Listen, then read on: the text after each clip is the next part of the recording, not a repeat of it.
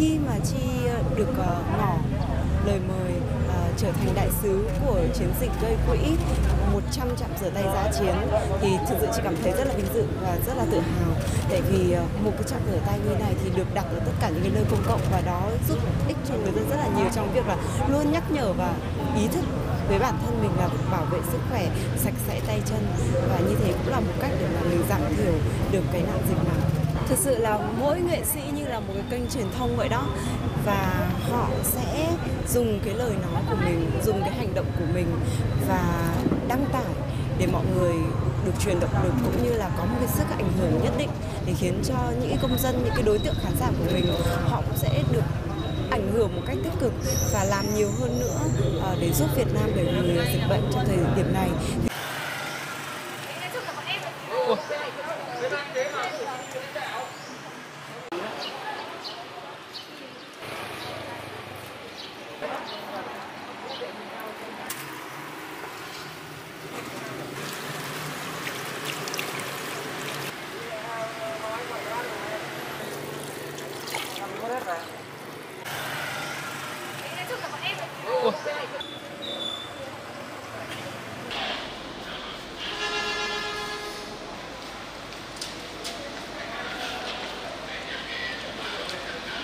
Làm sao mà tạo được cái thói quen rửa tay đúng cách cho người dân?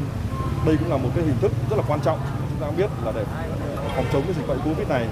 Thế thì ờ, để mà thực hiện cái nội dung này thì trung hội liên hiệp thanh niên Việt Nam cùng các đơn vị ờ, đối tác đã phối hợp để tổ chức lắp đặt